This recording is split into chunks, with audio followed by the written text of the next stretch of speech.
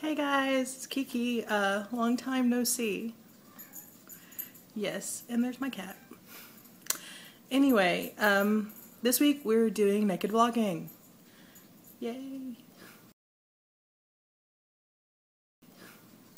Um, I've actually done this before. This is this is how I did my audition video for the channel uh, because a year ago my air conditioning went out and it was August or July in Texas, West Texas, hot as an MFer. So um, pretty much the only way I could survive was being naked and taking copious amounts of showers. so uh, yes, I've done this before.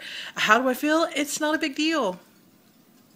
I don't think so. I mean, I think it has to do a lot with the fact that um, I, I, I, get naked anyway. I mean, that's the first thing I do when I get home. Um, if my brother's home, I live with my brother, my youngest brother lives with me, and if my brother's home, I'll probably change into something very comfortable.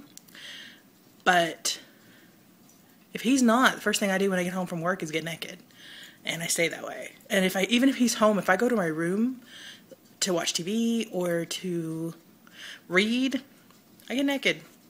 It's just how I am. I I would live naked if I if I just if I lived with someone that I was in a relationship with, or if I was living with someone that I was comfortable being naked around, um, and there are a few. Uh, I would get naked the moment I came home and never put wouldn't clothes on unless I had to leave or somebody was coming over that I had to put clothes on. Um, my cat needs attention apparently. Anyway, um, so I'm not nervous about this. I'm not upset about this, and as you can tell, I just showered.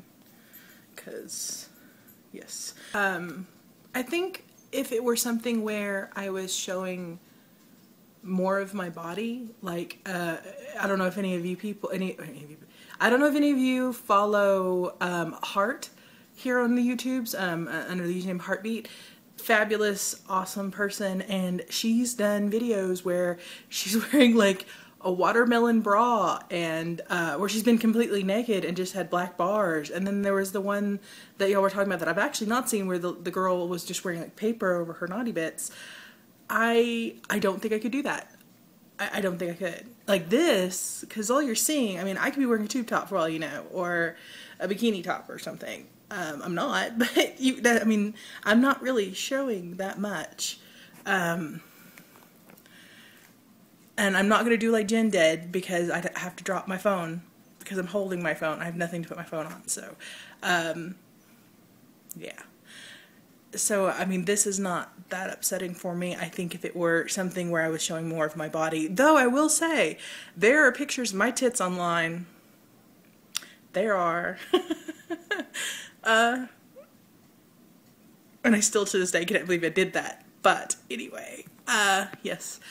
I would like to get to the point where I'm more comfortable with my body being shown to I mean not like I want to, you know, post nudes on the web or something like that, but being able to show more of my body. Um, I'm pretty good from like breasts up, but uh, rest of me not so much.